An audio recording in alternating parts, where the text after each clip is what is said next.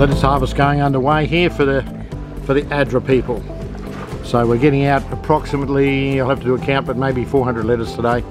They're going to the charity ADRA to, to put into food parcels for those that are less fortunate. So it's a good use for our lettuce crop. Wow, have a look at this one. What a beautiful lettuce.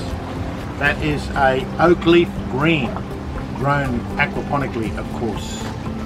So here's these two uh, small pine kits, as we call them, being harvested right now, going off to the charity. So you can see the lettuce are all quite full and really in good condition. Beautiful, not an insect in sight. Well, there is a few, but nothing, nothing that's harmful to the plants anyway. Actually, this, this pair actually run together. They share the same water, same fish tank, and producing beautiful crops. Look at this lovely, fabulously good condition watercress. Absolutely wonderful. And one stray all by itself, all weather spinach growing in the middle. Beautiful. Yeah, See you later. See you later, lads.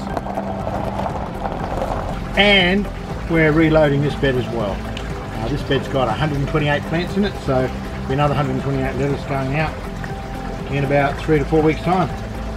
So as you can see, when you plant in rafts, it is very easy to do.